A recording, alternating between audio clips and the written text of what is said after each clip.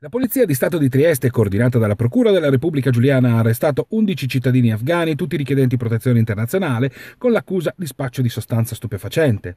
Centinaia le cessioni, anche a minorenne, accertate in poco tempo dagli agenti della squadra mobile di Trieste nel corso di una serrata investigazione finalizzata a contrastare la formazione di una pericolosa rete di piccoli spacciatori.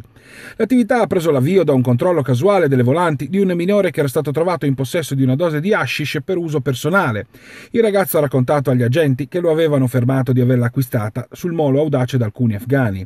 Da qui i servizi di investigazione leggera che utilizza metodi tradizionali di osservazione, pedinamento e sequestro di stupefacente con la tecnica del ritardato arresto.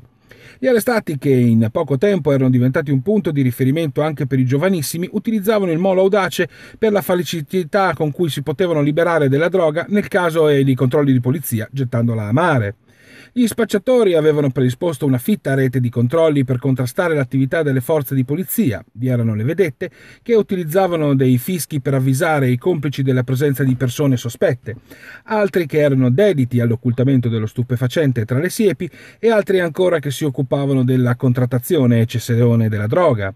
Gli arrestati sembravano conoscere bene i meccanismi giudiziari, avevano infatti tagliato l'ashish in tante piccole dosi, poi nascoste tra siepi per essere prontamente reperibili per l'uso, e prediligevano l'imbrunire i piccoli ripari per svolgere indisturbati la loro attività di spaccio. L'operazione della squadra mobile giuliana ha portato al sequestro di numerose dosi già confezionate. La polizia invita i cittadini a segnalare le situazioni sospette per consentire un tempestivo intervento per stroncare sul nascere il radicarsi di tale fenomenologia.